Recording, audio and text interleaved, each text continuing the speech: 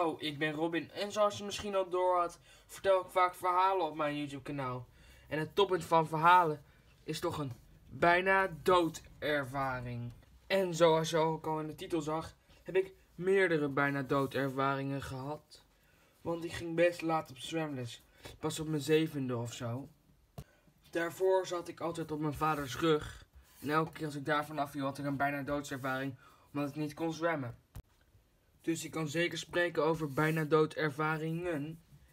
Ik ben zelfs een keertje aangereden op een zebrapad. Hoewel, ik reed de auto meer aan. Of eigenlijk liep de auto meer aan dan de auto mee aanreed. Maar dat doet ze niet toe. Ik hoop dat je genoten hebt. Deze video was wat korter, aangezien ik heel veel video's moet maken voor de vakantie.